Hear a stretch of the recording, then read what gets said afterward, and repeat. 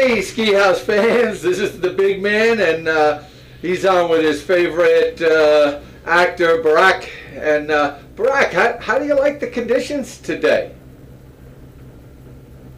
Well, I, I heard, uh, Borat, that it's uh, 35 at the summit from the uh, weather girl at the info desk. That's my wife, Pat. And it's 32 down here. And walking in, the snow felt nice and firm. And once again, a spring day here at Stratton. Borat, do you like spring skiing?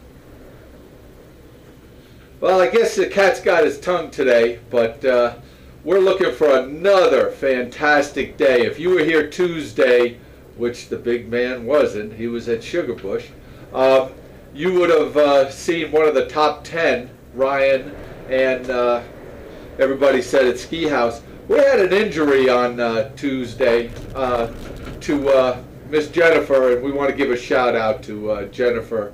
That's Rick's uh, wife, and I'll tell you, she got banged up pretty good by one of these rogue trees on the mountain, and you do have to look out for them. They usually hang around where the snow snakes are, and the snow snakes skirt underneath you and pull you right into the rogue tree and then they, they try to do a job on you. Kevin got hit by a rogue tree, and so did Jennifer. So we wish her the best and hope she's up and out and moving around pretty quickly because that injury is going to affect both her and Rick.